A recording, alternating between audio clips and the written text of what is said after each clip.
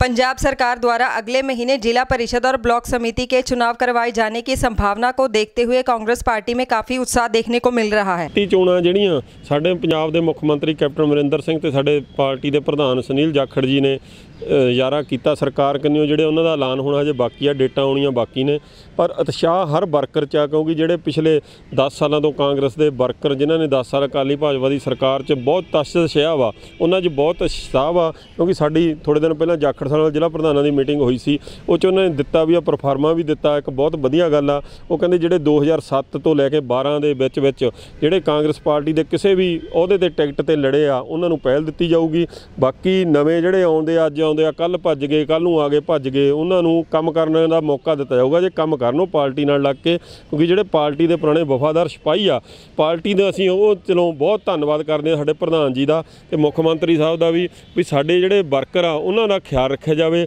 ਜਿਨ੍ਹਾਂ ਨੇ ਪਿਛਲੇ 10 ਸਾਲਾਂ 'ਚ ਜਿਵੇਂ ਅਸੀਂ ਆ, ਮੈਂ ਵੀ ਹਲਕੇ ਦਾਖੇ 'ਚ ਇੱਕ ਪੋਲੀਟੀਕਲ ਖੰਗੂੜਾ ਸਾਹਿਬ ਦਾ ਪੋਲੀਟੀਕਲ ਹੋਣ ਦੇ ਨਾਤੇ ਮੈਂ ਵਿਚਰਦਾ ਰਿਹਾ ਵਾਂ, ਕਿਉਂਕਿ ਸਾਡੇ ਜਿਹੜਾ ਦਾਖੇ ਹਲਕੇ 'ਚ ਵੀ ਜਿੰਨੇ ਵਰਕਰ ਸੀ, ਸਾਨੂੰ ਪਤਾ, ਅਸੀਂ ਬਹੁਤ ਯਾਨੀ ਕਿ ਖੜੇ ਕੀਤੇ ਬਲਾਕ ਸੰਮਤੀਆਂ, ਜ਼ਿਲ੍ਹਾ ਪ੍ਰੀਸ਼ਦਾਂ 'ਚ ਔਖੇ ਵਰਕਰ ਕੋਈ ਖੜਾ ਨਹੀਂ ਹੋਣ ਨੂੰ ਤਿਆਰ ਸੀ, ਪਰ ਉਹਨਾਂ ਨੇ ਕੁਰਬਾਨੀਆਂ ਦਿੱਤੀਆਂ। ਇੱਕ ਸਾਡੀ ਸਿੱਧਵਾਂ ਬੇਟ ਬਲਾਕ ਸੰਮਤੀ ਆ, ਜਿੱਥੋਂ ਕੀ ਕਹਿੰਦੇ ਆ, ਸਾਡੇ 15 ਚੋਂ ਤਿੰਨ ਵਰਕਰ ਹੀ ਖੜੇ ਰਹੇ, ਪੰਜ ਚਾਰ ਦਾ ਡਰਾ ਕੇ ਭਜਾਤੇ।